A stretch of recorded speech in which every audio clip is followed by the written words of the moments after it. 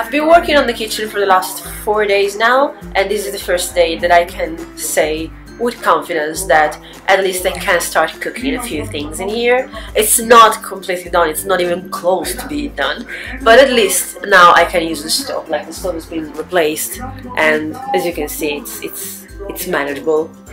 It is. So the thing that I made today for my mom uh, was the simplest, easiest, possibly tastiest low carb keto recipe that there is when you have uh, a few things at hand and it's low carb meatballs. You need very few things for that as you can see, so minced beef and grated uh, parmesan or hard cheese anyway. I used some bits of powdered garlic to give it a bit of a kick, salt and two eggs. Two eggs for alpha kilo, so consider that. So now let's make this happen. So alpha kilo, 3 eggs uh, and like 50 grams of grated parmesan gave us 36 meatballs. Most amazing things about these meatballs is that they are literally carb free. There is not one gram of carbs inside.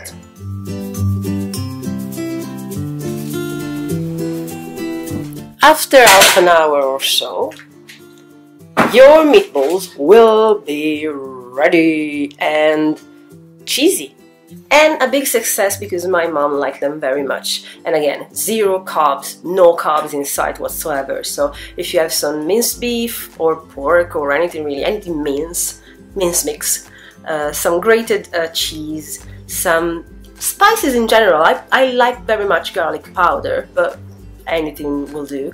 Couple of eggs and there you go. You're gonna be happy because they're a lot, the 36, and I know my mom, they'll be rationed, so they'll go into Tupperware. And if you were wondering the reason why I have to specify that these are low carb meatballs, fair enough if you've never thought of it, but basically regular meatballs usually also have breadcrumbs or flour or things like that. So to avoid that, you replace it with grated cheese, more and more and more grated cheese, and that's how you go for zero carbs meatballs. Come on, let's be honest, this looks like a sort of regular kitchen, doesn't it? Yeah, I mean, down there you can you can have a glimpse of the fact that it's not exactly a normal kitchen, but we're getting there. Come on, come on, look at that. Yeah, nothing in the sink, and everything is there waiting to just dry and and see see. I'll have to get rid of this because it's a dishwasher, but my mom forgot some dishes in it for like a year so uh, it needs to go but at least now we know that and now I'm making her some tea so that she can digest properly it's very classic and common in Italy to have tea. And you know what? The good thing about a hoarding mom is that that little pot, pot there, actually I remember it from when I was three or four years old. So tiny few things, they are actually good memories. What my mom doesn't quite accept is that memories don't work in a hoarding way.